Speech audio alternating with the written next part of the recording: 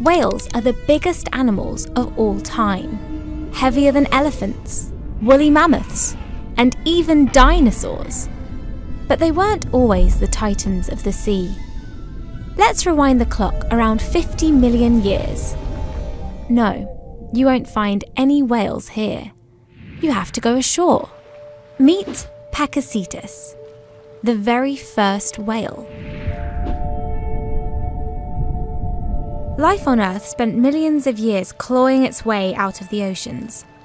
But whales took all that effort and threw it out the window. From 50 to 40 million years ago, they traded in their forelegs for flippers. In fact, some whales today still have leftover bones of hind legs. Once submerged, their weight under gravity no longer mattered, so they could theoretically grow to enormous proportions. And they did. Today, a blue whale is 10,000 times more massive than the Pakicetus was. But this transformation wasn't as gradual as you might think. In fact, over the next 37 million years or so, whales grew increasingly diverse, but their size remained small. For example, one of the first whales with baleen instead of teeth was only 18 feet long, making them easy prey for predators like giant sharks. It wasn't until around 3 million years ago that an ice age tipped the scales in the whale's favour. Ocean temperatures and currents shifted, sparking concentrated swarms of plankton and plankton seeking krill. It was an all you can eat buffet for the baleen whales, who grew larger as a result.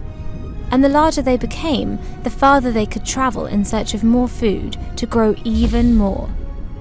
You can probably see where this is going.